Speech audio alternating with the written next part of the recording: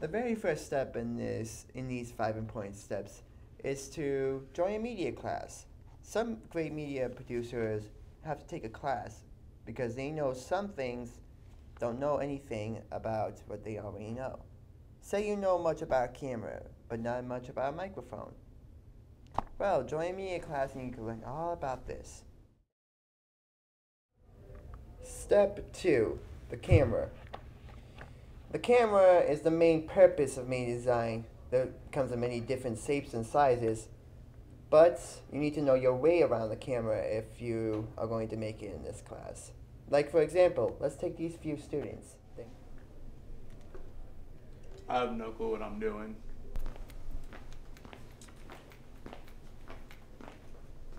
Do you need some help? Yes, sir. Let's stop this. You see, these two, this student is having trouble with the camera. Mr. Dewald here, which is the teacher, co-teacher of this media design class, is going to teach him how to properly set up the camera. And sure enough, he'll actually sh show him the correct way of setting up. Now, we will stop and you will stop. You guys. So here's the right way to do it. This came out pretty good. Thank you, Mr. Dewald. No problem. Just ask if you need help. Notes. Notes are very important in media class. They can help you study for a test or event, maybe even a project you're about to do. Notes can be used when on the, after the project there could be a test. It's demonstrating what you did during the project. Well, you have a hand-me-down manual right there, notes. But what would happen if you were absent one day and they covered notes over a new project you're about to do? What would you do then?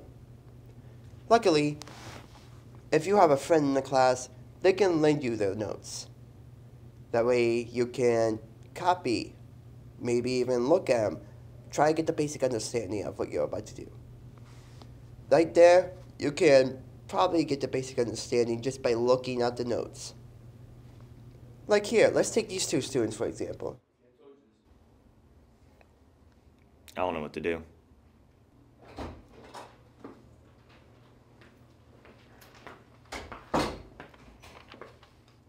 Hey man, what's wrong? Yeah. We have a project due soon and I don't know what to do. Where's my notes? Really? Can I? Yeah. These notes make complete sense. I get it now. Thank you. No problem.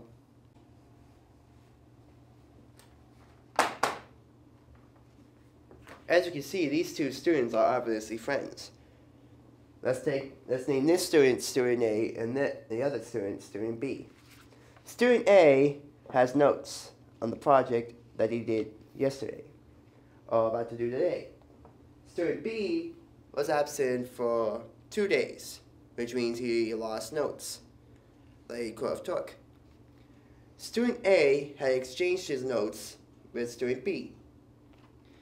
And student B now understands the concept of what they're doing and can easily complete the project on a standard basis. So you need, see now notes can be very important.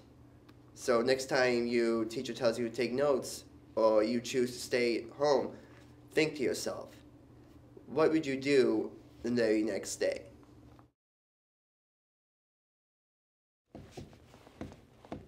College. If you're planning to pursue an even further degree in media, college will be the place to sign up for.